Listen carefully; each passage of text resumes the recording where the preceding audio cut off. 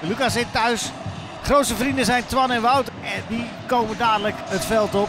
Net als Luca. En Luca doet dat dan via de klasgenoot. Ik ben Luca en Herakles Almelo is mijn club. Ruim een jaar geleden ontdekten ze bij mij leukemie. Dankzij de klasgenoot mis ik gelukkig niks op school. Vandaag ga ik met mijn beste vrienden naar het stadion. Hoe cool is dat?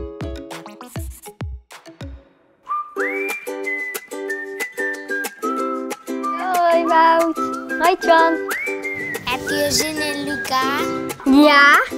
Zullen we zoveel mogelijk handtekeningen scoren op deze bal? Ja? Kom, we gaan.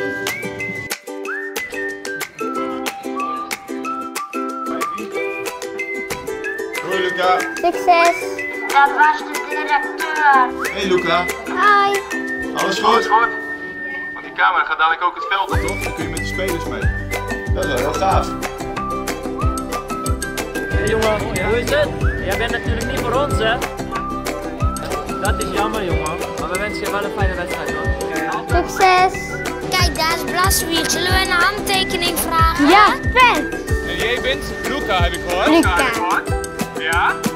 Ik heb hier een, eh, ja, een kleine presentje. Je hebt er iets moois. Kun je er omdoen? Daar is die, kijk maar. Met de wedstrijd en breng ons geluk. Doe in.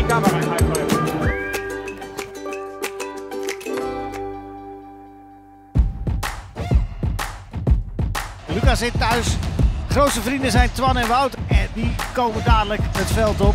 Net als Luca. En Luca doet dat dan via de klasgenoot.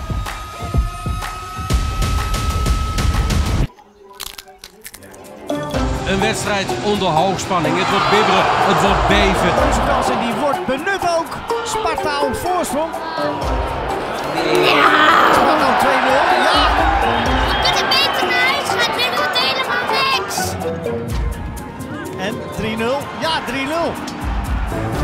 Hebben jullie ook zo'n honger? Zullen we eten? Ja! Komt nog wel even misschien in de problemen. Want Herakles komt terug tot 1-3. Ja, ik zeg het. Er gebeuren gekke dingen. Makkeli fluit af. En Sparta weet het.